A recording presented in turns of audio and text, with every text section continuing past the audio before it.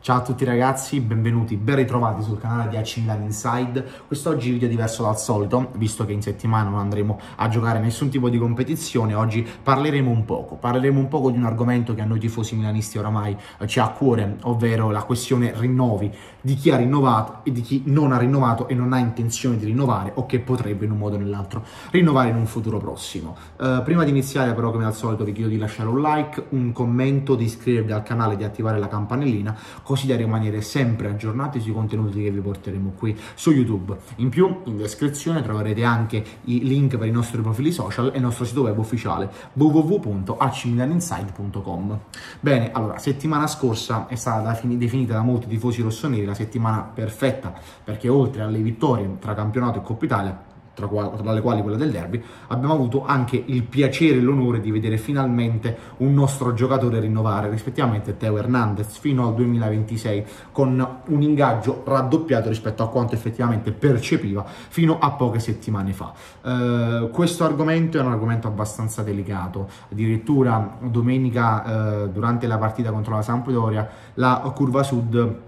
ha esposto un, uno striscione eh, dove insomma andava a punzecchiare eh, chi eh, non era effettivamente convinto al 100% di voler rimanere e rinnovare con noi. Ovviamente due sono in questo momento i giocatori eh, che eh, vanno in scadenza giugno e sui quali effettivamente il futuro è abbastanza incerto, rispettivamente Franchessi e Alessio Romagnoli. Per quanto riguarda Alessio Romagnoli, giusto aprire una parentesi, nel senso il giocatore è accostato alla Lazio, Lazio che è la sua squadra del cuore, non l'ha mai negato, però comunque il capitano rossonero eh, ha sempre dato priorità al club eh, di Vialdo Rossi, eh, dicendo appunto che nel momento in cui eh, Maldini e Massara proponessero a lui e al suo entourage un, um, un, contratto che possa soddisfare quelle che sono le loro richieste e esigenze, il capitano numero 13, il capitano rossonero, insomma, eh, firmerebbe senza alcun tipo di problemi. Ricordiamolo che comunque il Milan ehm, offre a Romagnoli 2 milioni e 8 più bonus all'anno rispetto ai 6 che attualmente percepisce,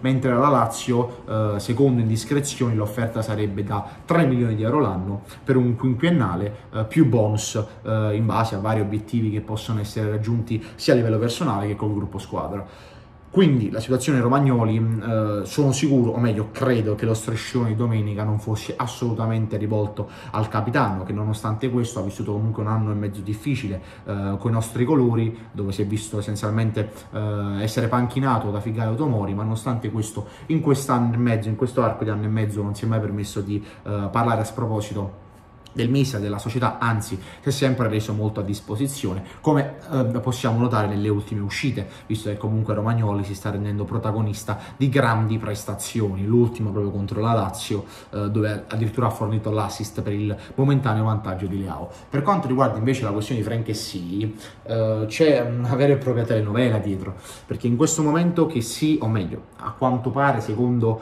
eh, indiscrezioni, si dice che, che sì non abbia intenzione di rinnovare il contratto contratto col Milan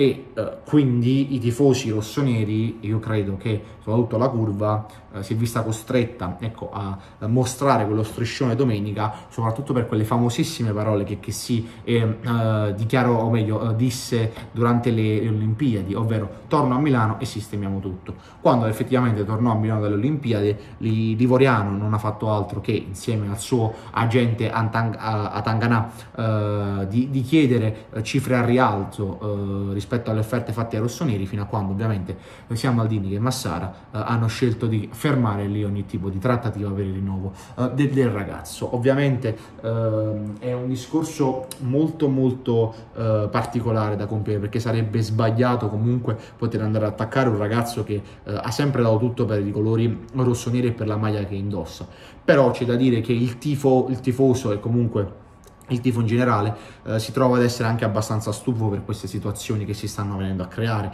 dove i giocatori altro non fanno che eh, non appena vedono la possibilità di poter andare altrove e guadagnare di più, ehm, la, si lasciano alle spalle l'esperienza rossonera, dove comunque eh, possono aver dato tanto, eh, abbracciando progetti ai quali effettivamente potrebbero non essere protagonisti, come può come sta succedendo d'altronde adesso con, con, con Donnarumma al Paris Saint Germain. Eh, per quanto riguarda Livoriano, sono varie le squadre interessate a lui, eh, si parla di Liverpool, si parla eh, di Paris Saint Germain, si parla di Barcellona, nonostante alcuni quotidiani spagnoli, nello specifico catalani, nelle ultime settimane hanno eh, definito un raffreddamento della pista più che altro per le richieste ehm, del, del Livoriano e addirittura si parla anche di Inter, dove Marotta eh, vorrebbe in un modo nell'altro uh, fare una sorta di operazione alla Cialanoglu 2.0 se così vorremmo definirla senza però dover uh, cadere ecco, ai ricatti contrattuali che potrebbe proporgli Livoriano. Uh, quindi attualmente la situazione è questa con, ben, con Romagnoli è un che sì in forte dubbio ovviamente che sia addirittura prossimo alla partenza mentre Romagnoli si cerca e mi auguro io mi auguro possiamo trovare un accordo col capitano affinché possa rimanere con noi perché ricordiamo Romagnoli a differenza di molti altri, il periodo del Milan di Yong Yong Lee fu uno dei pochi che ha avuto il coraggio di firmare il contratto in bianco, tra virgolette,